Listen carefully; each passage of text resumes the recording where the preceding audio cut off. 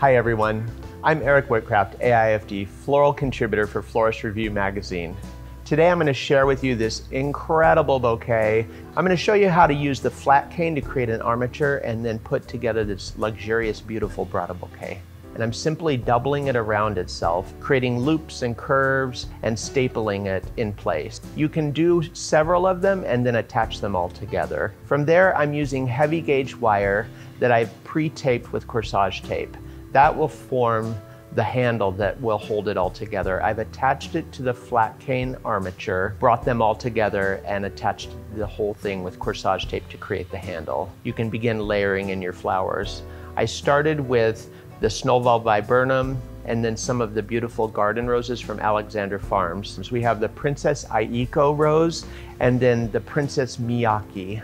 I added in the Hypericum, and also the ranunculus. From there, I have incorporated some of the Japanese maple.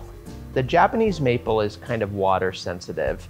So what I have done is used small water tubes that I've attached wire to with corsage tape. The small vessels of water will actually hold the foliage to last a little bit longer when I use it in the bouquet. Once you have the Japanese maple foliage incorporated. I like to bind it really well using bind wire. That'll secure the bouquet together.